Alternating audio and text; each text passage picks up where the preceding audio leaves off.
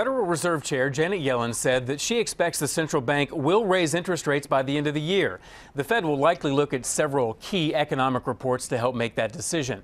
On October 2nd, we'll get a better idea of the health of the job market when the government releases the September employment report. It was a mixed day on Wall Street on Friday. The Dow was up 113 points, the Nasdaq was down nearly 48.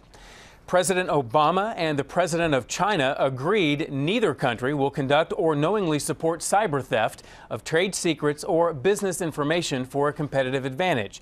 President Obama met with China's president Friday and said the growing cyber threat has to stop.